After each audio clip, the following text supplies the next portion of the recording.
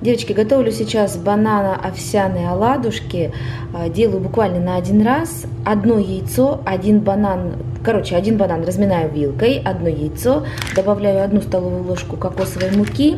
И сегодня я использую где-то 2-3 столовые ложки овсяной муки.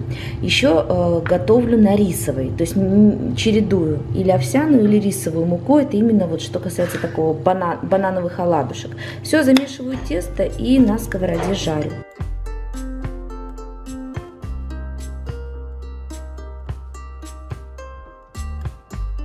Привет, всем сейчас села здесь перед камерой с вами поболтать и поймалась я на мысли, как же я жду того самого момента, когда у меня сменится эта локация. Я не имею ничего против, мне нравятся вот эти вот э, кусочки Петербурга, но хочу туда побыть самой там, то есть хочу туда поехать сама. Как у вас настроение, как у вас э, погода в ваших городах?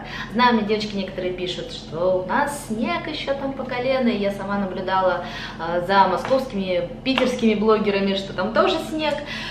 Радовалась, как у нас вроде хорошо-хорошо, и тут на тебе. И нам снег привалил. Не, субро, не сугробы, конечно, но Э, дорожки все в снегу. Правда, он быстро растает, я знаю, что растает. У нас уже вот-вот-вот уже все, почки не просто набухли, уже начали открываться, уже листики там их, вот-вот уже все зазеленеет. Я на себе лично чувствую вот эту смену сезонов, и усталость накопилась, и вроде периодически э, я там пытаюсь чем-то как-то взбодриться, и где-то немного спорт, но все равно спорт у меня в таком, знаете, пока не в систематическом состоянии, я почему еще до сих пор тяну с упражнениями, думаю, а могу ли я вам их показывать, если я сама их регулярно не выполняю? Да, вот, признаюсь вам. Тем не менее, я все равно вам обещала, я покажу тот комплекс, который я делаю, когда заставляю свою пятую точку встать.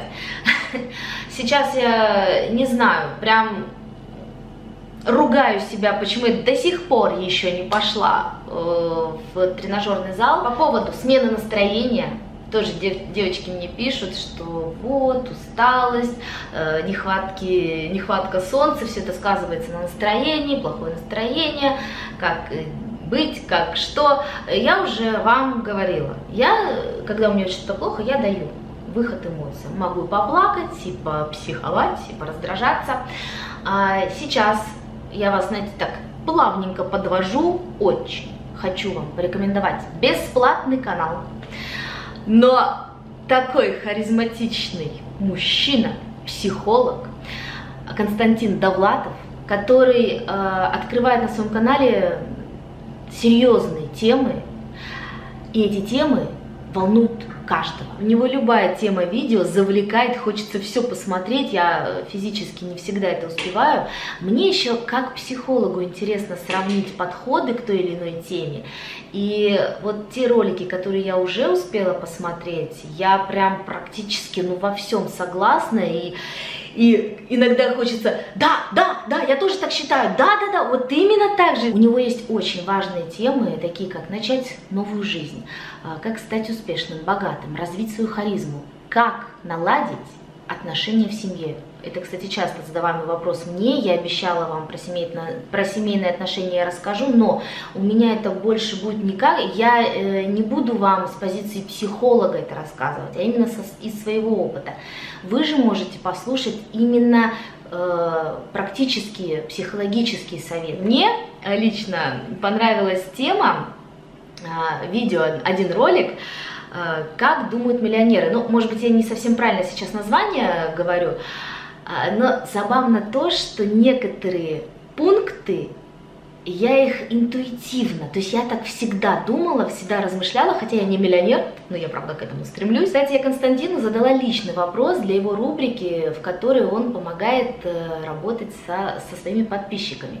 Кое-что для себя усвоила, по-новому взглянула на то, как э, надо работать со своими зрителями, начала практиковать и именно вы мне потом, может быть, со временем скажете, заметили ли вы какие-то результаты. В общем, такой эксперимент. Попробуем с вами. А еще важная информация. 21 марта у Константина будет бесплатный вебинар. Я настоятельно рекомендую вам записаться на него. В особенности, если вы попали в трудную ситуацию, у вас э, продолжительная депрессия, вы не знаете, с чего начать, э, не знаете выход из той самой какой-то трудной ситуации а, для вас этот вебинар, возможно, станет э, той опорой, той отправной точки для начала новой жизни, для решения своих проблем а, вообще в какую сторону двигаться. Поэтому, если вам это интересно, напомню, это будет бесплатно, записывайтесь, ссылку на регистрацию. Короче, ссылки я оставлю в описании, заглядывайте, там будет вся информация. Готовлю сейчас ужин, он у меня такой на скорую руку. Кстати, нарезаю сейчас на этих э, досках гарти. Один момент. Да, девочки, вы мне писали, что Надпись у них, конечно, слабое звено. Мне тоже не нравится ни шрифт, э, ну да, мне не нравится шрифт и, наверное, цвет. Можно было бы и цвет другой, и шрифт другой, тогда было бы супер. А тут, да, не очень надпись. Я думала, я хитро поступлю. Я такая думаю, я их просто переверну оп, и никакой надписи, и блестит тоже. Но, видите, все-таки у них с этой стороны, где нет надписи, более мелкая, вот это вот, знаете, как крапинка, да, а с этой стороны, видите, более крупная, она как бы поинтереснее. Но можно и перевернуть. Наверное, я все-таки сейчас решаю, если я их переворачиваю, то тогда на этой стороне можно всегда нарезать, а другая сторона будет для красоты, то есть она никогда не будет трогаться ножом, она будет всегда ровная, гладкая и без надписи, например, да, там, где надпись, на этой стороне всегда делать нарезку, вот, но да, только с этой стороны, видите, крапинка лучше. Ладно, короче, мне нравится, кстати, стук, как стучит доска. Э, дерево тоже хорошо стучит. Знаете, не буду так прям выделять, что дерево плохо, а это супер. Э, мне нравится и это, мне вид нравится. Э, также мне нравится вот эта доска. А этот пластик, помните, который я вам говорила, я тут на днях хотела было уже выбросить, а потом думаю, я его оставлю, мало ли что. А сейчас я решила его отдать детям для лепки пластилин. Под, ну, знаете, как такой коврик под пластилин. А, я им периодически, они его что-то с ним делают, я им покупаю. Он, конечно, небольшой, но я думаю, для лепки пойдет, да? Как думаете? Пусть пока тут стоит. Э, жду вашего мнения. По поводу ужина, э, я тут такой салат пристрастилась сделать. То есть сначала я делала салатом, а теперь сразу на тарелку выкладываю вот этот микс э, травы всякой полезной. А сверху нарезаю огурец, редиску, может быть еще черри помидорчики, ну вот у меня их пока нет. Э, поливаю все, ой, девочки, не приготовила, не приготовила, простите. Поливаю все маслом, слегка, э, слегка маслом виноградных косточек, на iHerb покупала, уже заканчивается, буду заказывать еще, очень нравится. И э, поливаю также слегка соевым соусом, он же как и соль.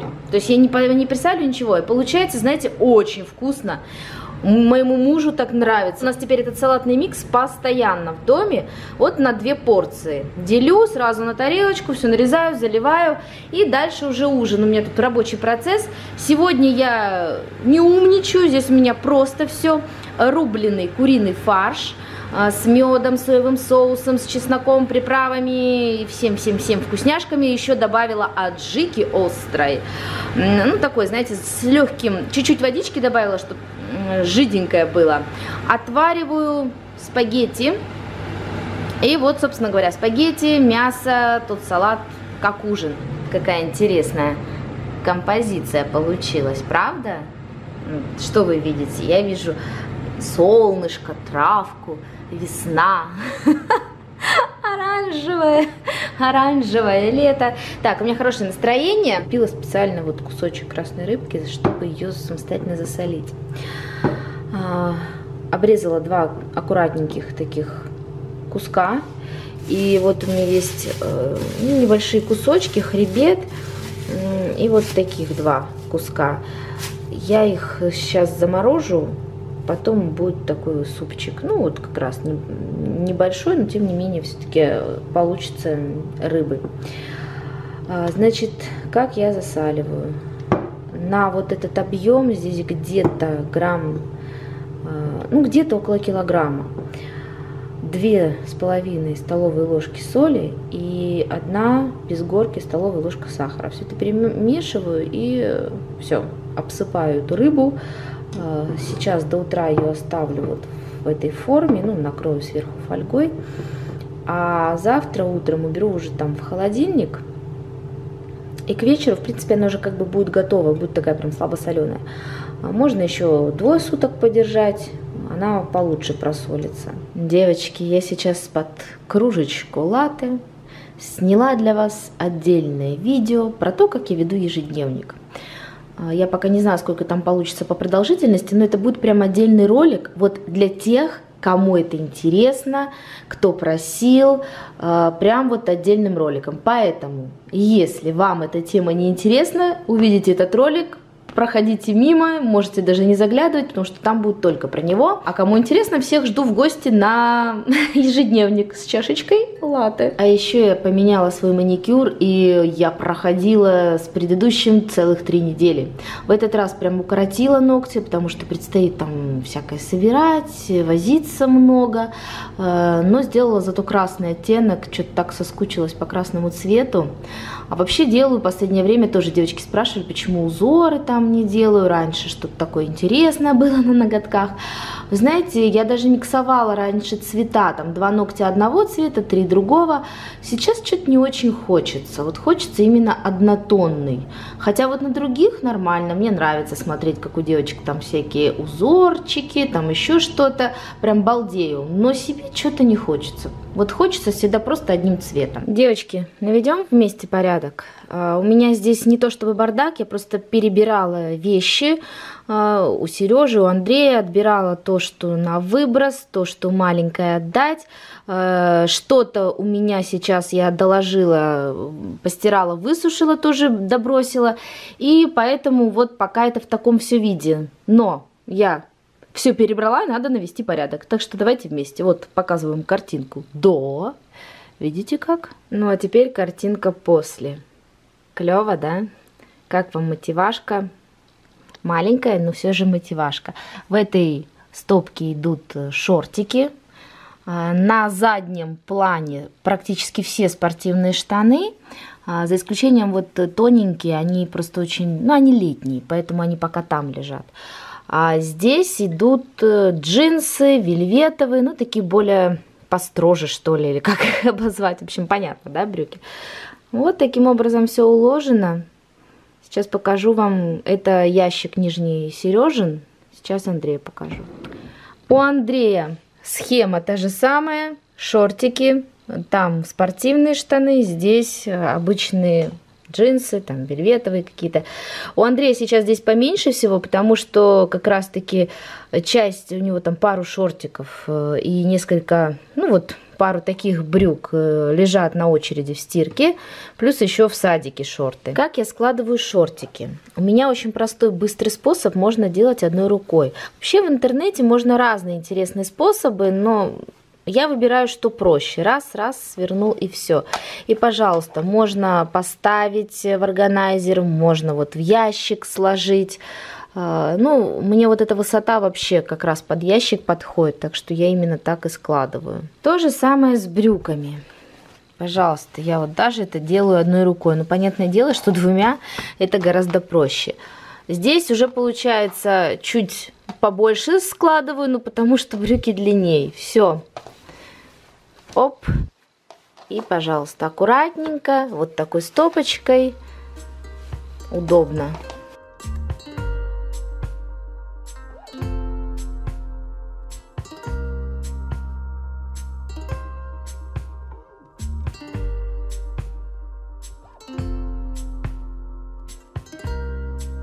Еще один момент, он касается больше спортивных, наверное, каких-то брюк. Ну и даже если у вас в джинсах тоже есть вот в завязке, э, чтобы они потом не болтались, я их э, обычно вот либо так э, кладу, если они прям длинные, можно вот в кармашек как бы зацепить.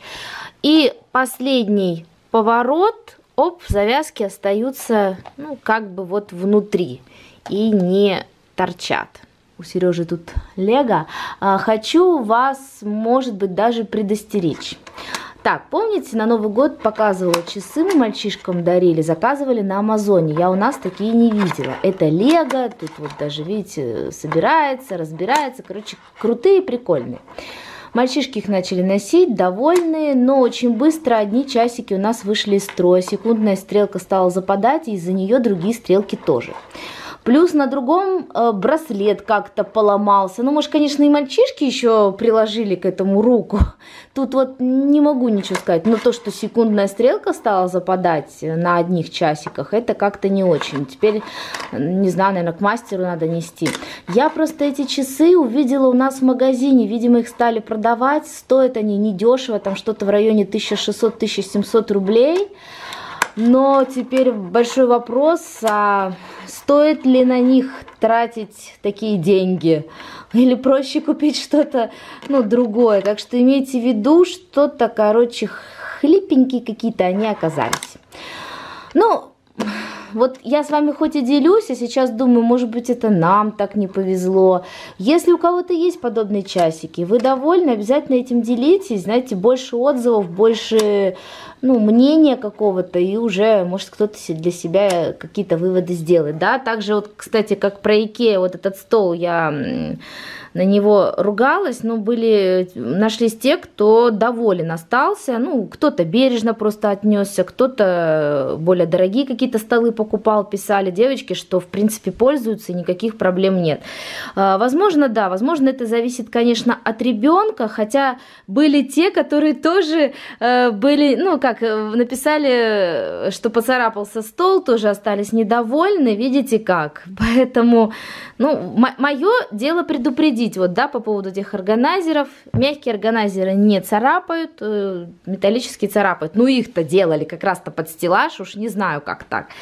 Ладно, Книги. Вы меня тоже спрашиваете, ну что там ваши дети читают, э, расскажите, поделитесь. Я сделаю такой ролик, наверное, вот, какие мы книги, то есть какие книги читает. В частности, вот Сережка последний, у него есть, он собирает тут коллекцию «Как приручить драконов». У него есть такая, вот такая. И из последних я вам уже показывала «Тайны старого сундука», ему очень понравилось.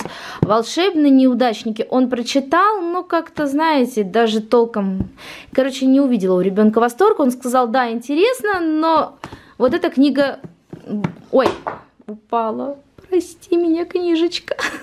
В общем, эта книга больше понравилась ребенку. Я сейчас э, собираю как раз-таки книги, уже готовлюсь к переезду, вот складываю их. Ну, те, без которых мы сейчас переживем. То есть я что-то оставлю детям читать, а что-то складываю. Почему я сейчас это говорю вам?